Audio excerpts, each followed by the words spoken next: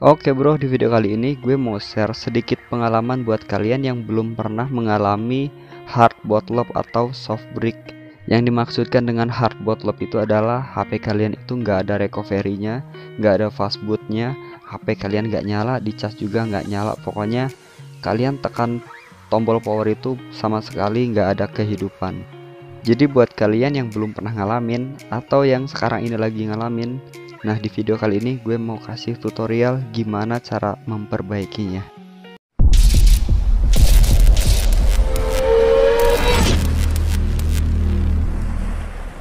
Oke bro ini pengalaman gue tadi siang. Awal mulanya kayak gini gue mau install custom room Viper OS Dan di situ ternyata gagal.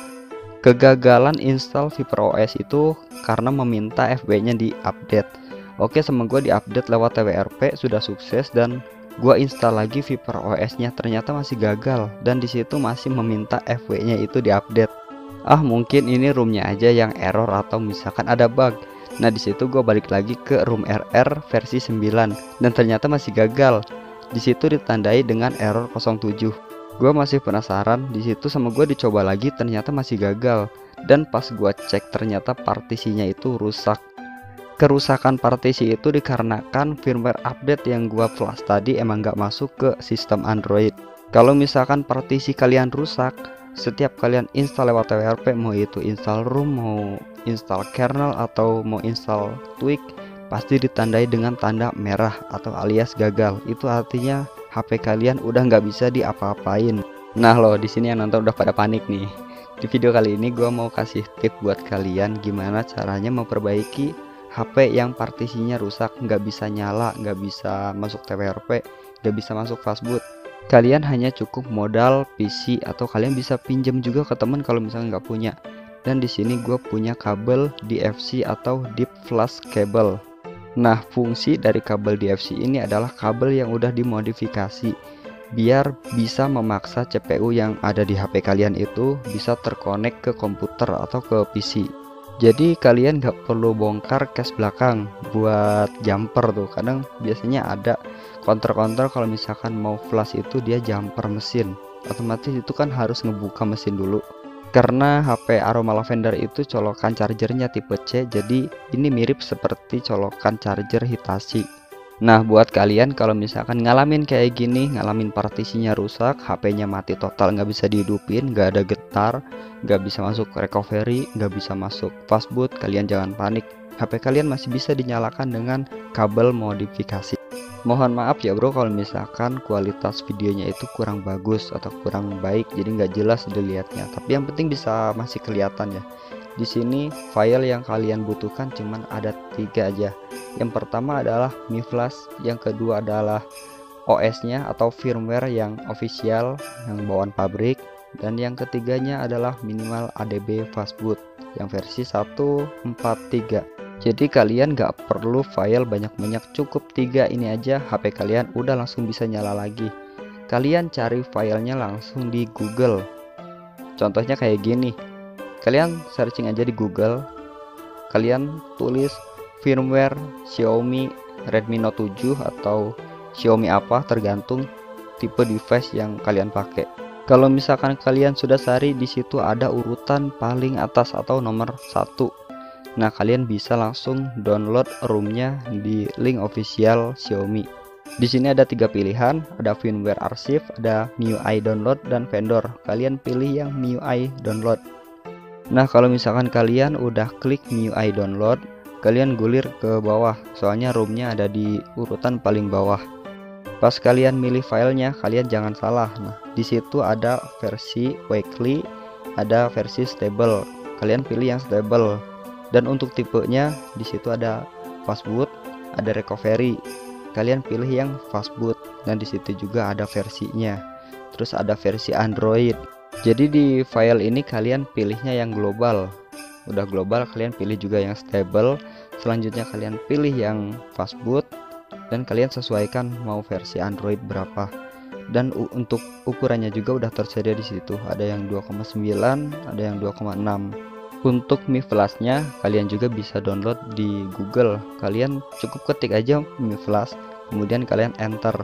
Nanti linknya ada di urutan paling atas atau nanti linknya juga bakalan gue siapkan di deskripsi biar kalian tinggal comot aja secara gratis. Kemudian kalian gulir ke bawah dan ketik download Xiaomi. Nah di situ ada beberapa versi ya. Semakin atas itu versinya semakin baru. Dan ini dikhususkan buat PC yang udah 64 bit. Oke selanjutnya kita ke bagian eksekusi. Yang pertama-tama kalian harus menjalankan dulu drivernya Untuk menjalankan drivernya juga nggak begitu sulit bro. Kalian cukup ketik next, next, next dan nanti juga bakalan beres. Atau kalian bisa ikutin tutorial yang ada di video soalnya sama. Dan di sini udah finish kita ketik. Oke Kalian bisa menjalankan atau bisa juga nggak dijalankan. Soalnya ini nggak nggak dipakai yang penting drivernya itu udah masuk. Dan untuk yang selanjutnya kalian ekstrak bagian firmware-nya kalian harus ekstrak firmware-nya itu ke drive C. Jadi jangan ke drive yang lain. Soalnya misalkan kalau kalian ekstrak firmware-nya itu ke drive yang lain bakalan gagal pas flash di bagian Mi, Flash. Kebetulan firmware-nya sama gue udah diekstrak dan kita lihat isinya. Siapa tahu di sini ada yang penasaran isi dari firmware original dari Xiaomi di sini folder-folder buat flash dan kalau kita masuk ke bagian image-nya itu benar-benar banyak file kecil. Jadi kalian jangan salah download ya kalau misalkan kalian download terus kalian ekstrak nah isinya itu harus sama seperti yang ada di video. Kalau misalkan nggak salah itu file ekstensinya itu tgz bukan zip dan untuk langkah yang selanjutnya kalian install Mi Flashnya. Kalian install Mi Flash itu sama seperti kayak install driver jadi kalian nggak dikasih pilihan apa-apa cuman tinggal klik next aja. Nanti bakalan muncul di bagian drive C. Di situ ada folder Mi Flash. Selanjutnya kalian bisa pergi ke bagian aplikasinya. Aplikasinya itu ada di dalam. Kalian cukup buka.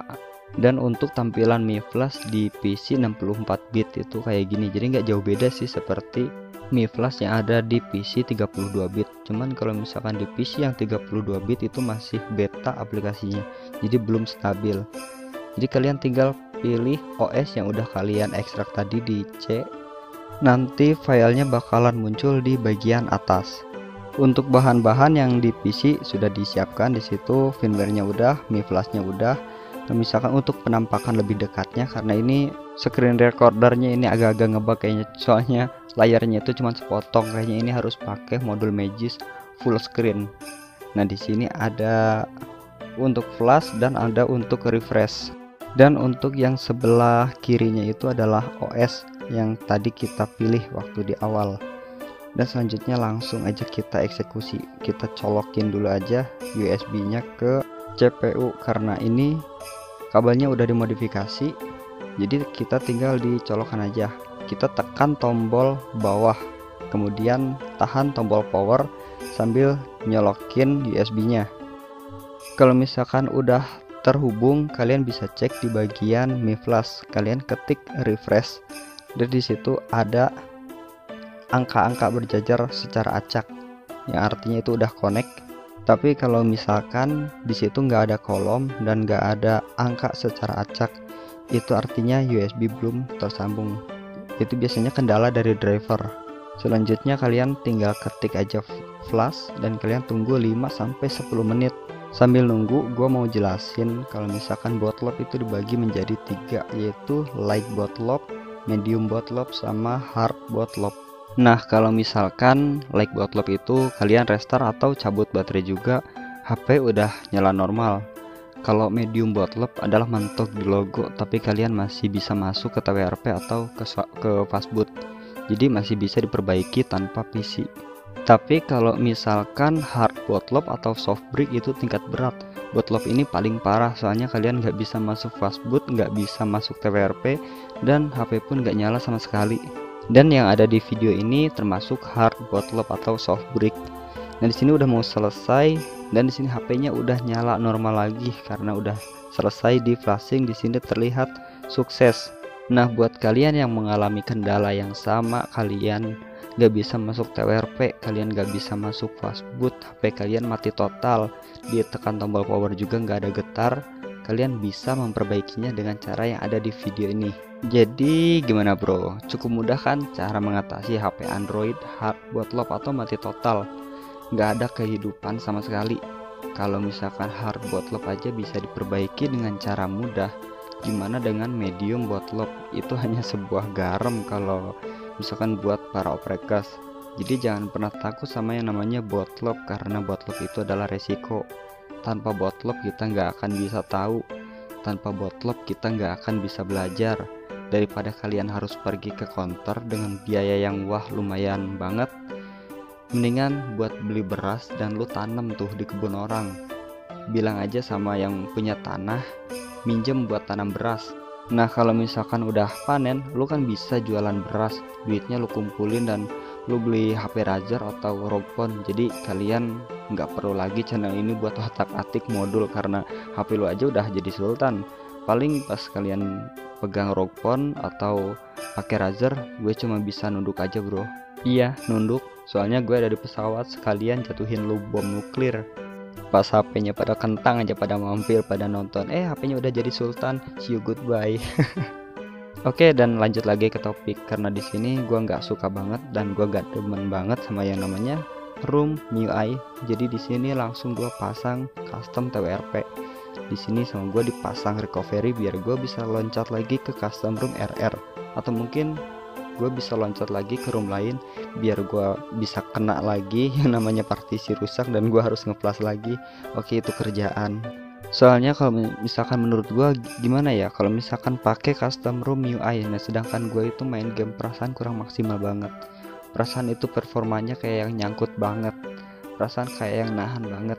Jadi itu alasannya gue harus pindah custom room dan di saat gue pakai HP apa aja entah itu Redmi Note 7 atau Redmi Note 3 atau dulu juga gue udah pernah pakai Redmi 3 itu pasti gue langsung loncat ke custom room.